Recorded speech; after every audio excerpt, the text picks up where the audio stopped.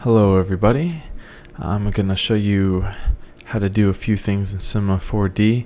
I'm going to be showing you how to make this effect right here.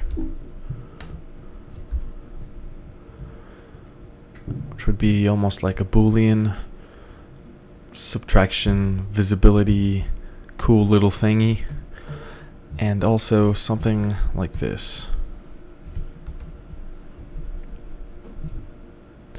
They look the same, but they're done a little bit differently, and I'll walk you through how to do both of them.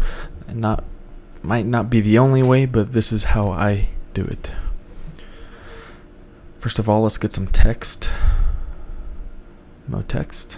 Uh, we can write anything we want here. I'm just gonna write. I'm gonna write poopy. Why not?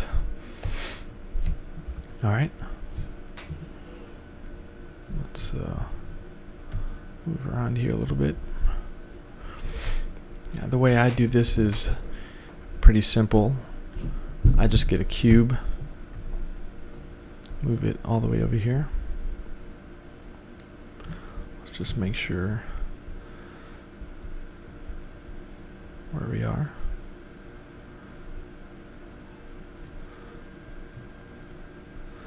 And make sure it's tall enough to cover all the text here.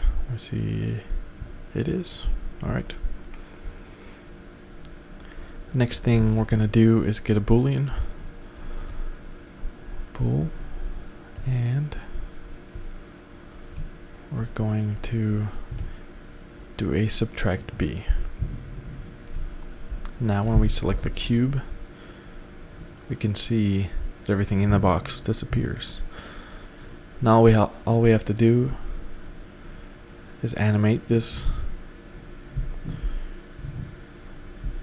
in the X scale and we'll have the same thing that we did in the first video. Alright.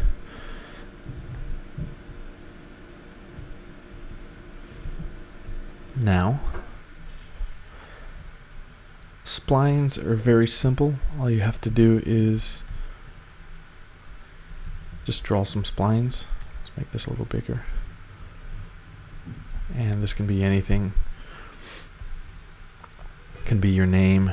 Obviously, the more time you take on this, uh, the better it'll look. Right now, you can see how jagged it is, but that's alright for demonstration purposes.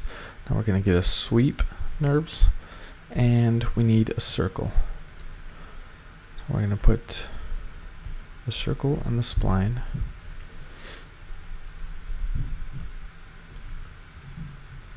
and we need to make the circle. Uh, we'll make it about five.